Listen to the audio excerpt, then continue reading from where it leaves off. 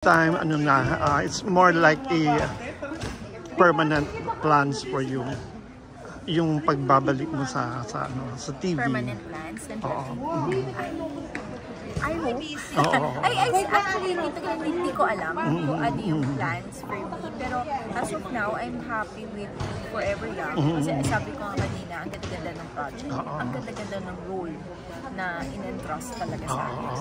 So, parang focus ko dito muna. Pero, syempre, mag-airing na kami and all. I'm still hoping and praying na sana mag-extend. If, Oo. if ever hindi, magkaroon din ako ng next project after. So, Okay, yeah. yun. paano yun how, how would it affect sa ano would, do, you, do you think it would affect sa motherhood mo syempre priority pa rin family Yes. Oo. Um, basta sabi ko sa husband ko, that it's hard. Pag may taping ako, kailangan nasa bahay siya. okay So, kunyari, MWF taping ko, kailangan MWF nasa bahay siya. Dapat, ang, ang, yun yung, ano namin, yun yung um, deal namin dalawa. Na dapat may isang parent talaga sa bahay. So, yun.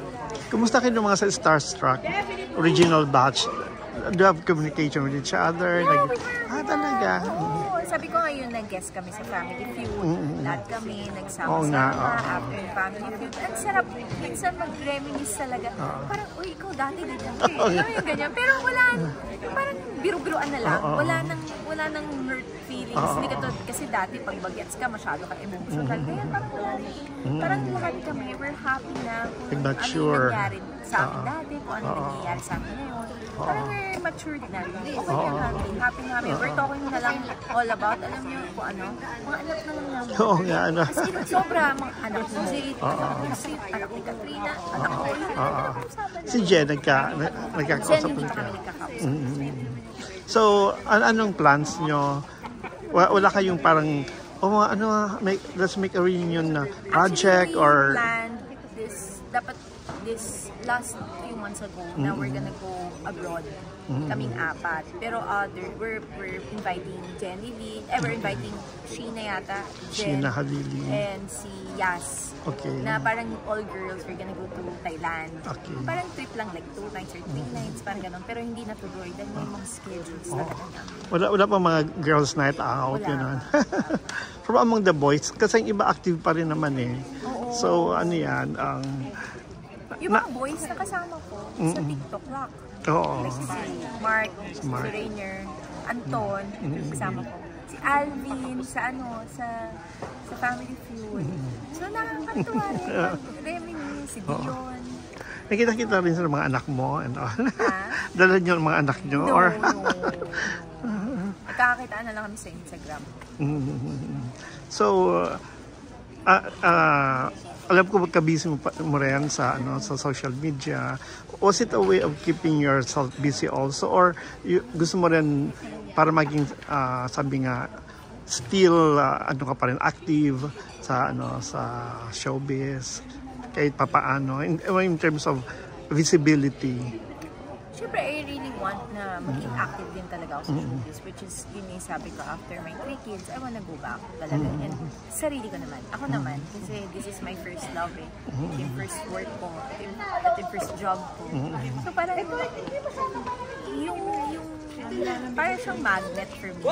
GMA at ako. Parang lagi ako namamagnet going back to gym. Right, diba? uh. So, praying na sana maging more visible sa sa showbiz industry. Oo. Hindi lang sa mga um, content, sa mga posting na Right. iba-iba. Siyempre yung magandang mga more projects. Oo. Lagi ko kasi sabi kay Tito Mario, Tito Mario, hanapan mo naman ako ng mga like mga short films. Oo. Gusto ko i-try. Tama. Gusto ko talaga. I really wanna explore and I really wanna yung gusto ko i-evolve naman yung sarili ko. Para at least one step para ma-challenge ako. Yung ganon. Anong, how does your kid take your, ano, kids take your, ano, yung sa pag-showbiz nila? Kasi, ano, syempre, usually ang iba, na, na- oo, yung mga kids minsan, parang, ano, nako, mami, bak, pa, ano, yung attention mo punta na, sa, eh, mawala sa amin and all. Actually, ang problem ko lang dyan si Heather. Okay. Si Heather medyo attached talaga sa akin. She can't sleep at night pag wala ako. So, tinitrain namin siya. She's 8 na eh. So, we have to help yourself also. So not all the time, I'm be here. Your dad is there naman. So I'll, I'll go home. Kasi parang laging nasa mind niya, hindi ako uuwi. So parang lagi siyang natatakot na, what time are you gonna go? What time are you working? Lagi ganun, walang patid. How many hours are gonna be there? Are gonna go Ganun si Head. Oo. So medyo yun yung tinitrain ko ngayon si Head. The second one. The second one, okay lang. Ah, Wala pa siyang ano eh. Parang, oh, mama work. Okay, what time you go home? Third ko, okay, see you. Ganun lang. And yung third ko, wala. Si Bunso. Eh, Ano pa siya eh, hindi pa niya alam. Oo, Ano, laro-laro pa.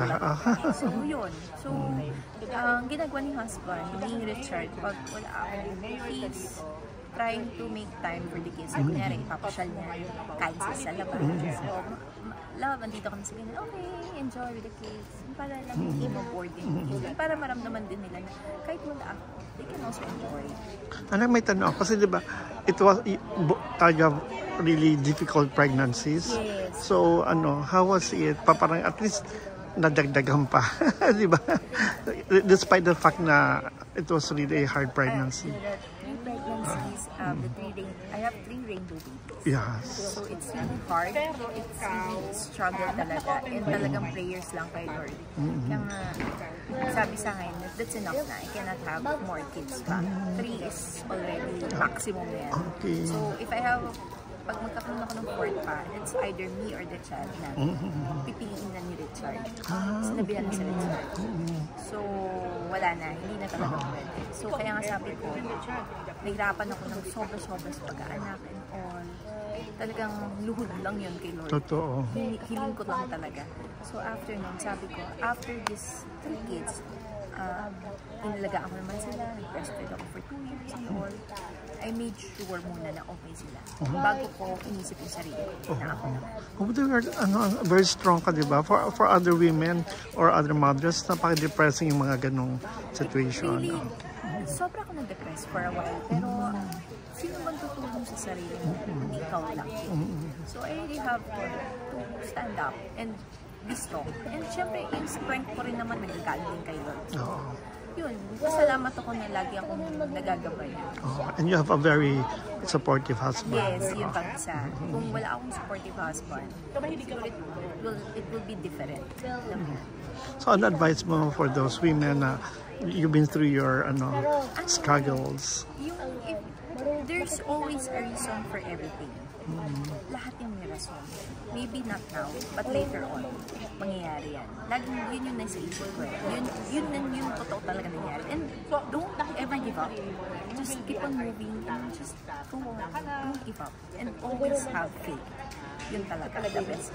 Thank you, Nads.